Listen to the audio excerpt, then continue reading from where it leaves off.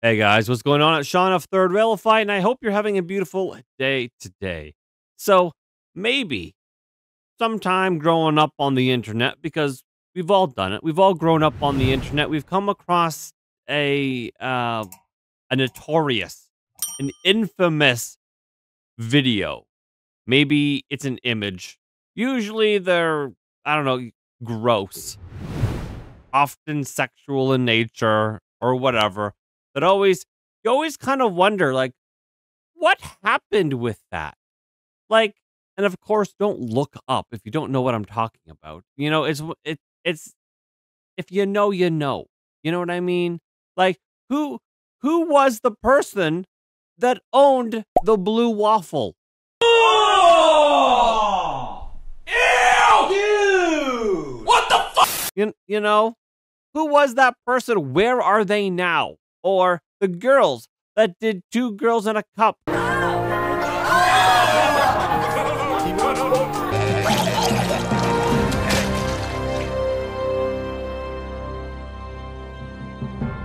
What happened to them? Where are they now? I've heard rumors of of of they've you know they they just ended it all if you know what I mean.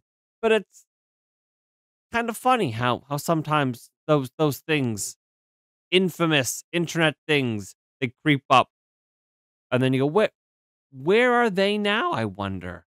But that horrible video that I once saw when I was in college and it now haunts me for as long as I live. Well, there's another one. There's another one, but I have an update for you in case you've ever wondered. At the very least, you might find the legal aspects of it funny. Um, there was a video that that uh, I came across uh, through uh, Nick Rekieta. There, th- there was there was a, a live stream of Nick Nick, Rekieta and and and his friend Drex, and at some point they they talked about the clout for trout video, and I was like, I I don't know what that video is, and and then they've they went on to discuss how it was it was some Australian woman. Turns out is actually a Tasmanian woman, but same thing, really. Anyway, she was she, she basically put a live trout in the hoo ha. That's that's gross. and used it as if it were a um an adult toy. And um apparently that circled around the internet a thousand times. And so of course being being me, I looked it up. And oh boy, did I did I wish that I didn't. It's it's one of, it's one of those things. As, as as I said, it's one of those things that you don't forget. It's it's notorious, it's infamous. It it will live on forever in in like burned into your brain. So here is here is here is a clip of that now. A, a, a PG clip that only lasts a couple seconds, just so you get the gist. Catch trout. Yeah. Oh, that trout's really good. What do you got here? The trout's really good. Where's the trout? So somehow, in my absolute hectic, busy life, I missed this story, and I I don't I don't know how I did it, but this was um at the end of August. Um, a woman who was allegedly filmed performing a sex act on a live brown trout on a boat faced his court. So the update to this crazy story is that they were actually caught. They were caught and brought up on charges and now going into court. We don't get these details with the other infamous internet stories or the videos. This is great. A woman who was allegedly filmed. I mean, let me tell you, she was filmed. We saw uh, there's there's no part of her body that isn't left to the imagination. A woman who was allegedly filmed performing a sex act on a live trout has appeared in court for the first time. Catherine June Lee, 58 years old, from Hobart, the suburb of Howden, faces three charges um, in relation to bestiality material allegedly produced between February 2022 and January 2023. She is charged with one count of possession of a bestiality product, and two counts of making or reproducing a bestiality product. Usually it's white women and their dog. Hey everyone, so today I'm going to be doing my video on 10 reasons why I think women should have sex with dogs. fish was just a very weird thing because, like, I don't know a whole lot about fish. I know that their scales can be sharp, and if you brush the scales backwards, like the wrong way, they can come off. And so when the when the dude is jamming the fish in there, he's got like the whole brown trout or whatever. He's just shoving it in there back and forth repeatedly. I'm like, what what are those scales doing? Those scales have to be coming off. Like, isn't that painful? Isn't she? Isn't she gonna get a yeast infection? And this is why I'll I'll never be monetized. oh goodness. So she was dressed in a black suit. Uh, she appeared um, in, in court uh, seeking adjournment without a plea. She just wanted to kick the uh, the thing down the can, the the trial down the can a little bit. No, she wanted to kick the, the can down the road a little bit. Holy cow. Magistrate granted Lee an adjournment until October, which is right now. Police allege the disturbing film showed Lee lying on her uh, boat at at sea somewhere near the Tasmanian South, as her male co-accused uh, used a live brown trout to perform a sex act on her. The footage depicted sexual activity between Lee and the trout. Court documents allege, like these these guys have them dead to rights. Now this this isn't fish. It's just it's just the dude just the dude and the chick holding a fish. Um, Lee's co-accused Ashley David Hallam. Ashley's a girl's name. I mean, it can be a boy's name too, I guess. 55 face court in May this year, but is yet to enter a plea. Well, he got um he got his kicked. And that that is the update that we're gonna uh, talk about. So he was charged with um, a few counts of making or reproducing bestiality and three counts of possessing the bestiality.